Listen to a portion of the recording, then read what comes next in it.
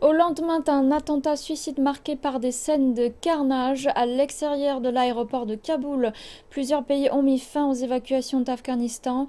La ministre française de la Défense, Florence Parly, a déclaré que euh, jusqu'à l'arrêt des opérations, le pont aérien mis en place par les forces françaises avait permis à 3000 personnes environ de quitter le pays. L'Espagne a également annoncé vendredi la fin de ces évacuations. En neuf jours, Madrid a évacué plus de 2200 La Suède dit avoir transporté par avion plus d'un millier de personnes, dont des employés de son ambassade, des gardes locaux ainsi que leurs familles.